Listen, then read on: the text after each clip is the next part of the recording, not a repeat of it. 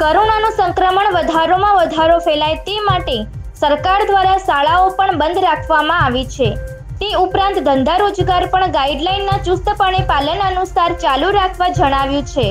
અને પોલીસને પણ લોકો સરકારની ગાઈડલાઈનનું ચુસ્ત પાલન કરે તે માટે પગલે લેવા સૂચનાઓ આપવામાં આવેલી છે. ત્યારે બનાસકાંઠા જિલ્લામાં કોરોના જાણે ગાયબ ન થઈ ગયો હોય તેમ લોકો બેફિકર બની ગયા. ઠેર ઠેર ભીડ ભાડ કરી રહ્યા છે. આજે બનાસકાંઠા જિલ્લાના વિશ્વેશ્વર મહાદેવ મંદિર ખાતે લોકોની ભારે ભીડ જોવા મળી હતી. મંદિરની બાજુમાંથી પસાર થતી બનાસ નદીમાં નહાવાની મોજ માણવા દૂર દૂરથી લોકો ઉમટી પડ્યા હતા. નદીમાં નહાવા માટે ઉમટેલા લોકો નવામાં એટલા મસ્ત બની ગયા હતા કે માસ્ક અને સોશિયલ ડિસ્ટન્સ સહિતના નિયમો પણ ભૂલી ગયા હતા. અહીં ફરજ બજાવતા જીઆરડીના જવાનો લોકોને ગાઈડલાઈનનું પાલન કરાવવા માટે જહેમત ઉઠાવી રહ્યા હતા. પરંતુ નદીમાં આટલી મોટી સંખ્યામાં લોકોની ભીડ ઉમટેલી હોવા છતાં, જાણે પોલીસ તંત્ર ચૂપકીદી સાદી બેઠું હોય તેમ જણાઈ રહ્યું હતું. શાળામાં સંક્રમણ ન ફેલાય તે માટે સરકાર દ્વારા શાળાઓ પણ બંધ રાખવામાં આવી હતી. વિશ્વેશ્વર ખાતે બનાસ નદીમાં કોરોના મહામારી વચ્ચે સરકારની ગાઈડલાઈનના ધજાગરા.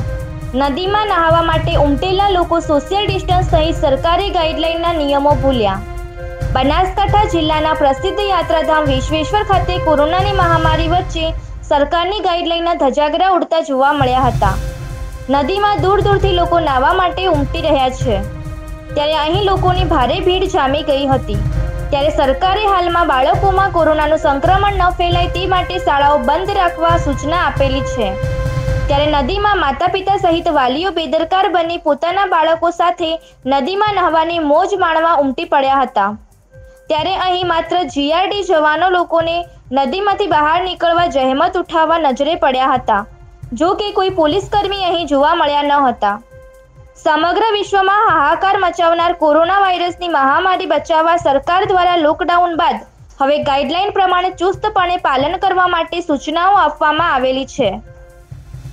ત્યાં અહીં નદીમાં નાહવા માટે માતા પિતા બેદરકાર બની પોતાના બાળકોને પણ સાથે ઉમટી પડ્યા હતા. ત્યારે શું આ નદીમાં ઉમટી રહેલી ભીડને કારણે કોરોનાનું સંક્રમણ નહીં ફેલાય કે કેમ? તેવા સવાલો ઉઠી રહ્યા છે. Bureau report Ratansinh Thakor Banaskantha.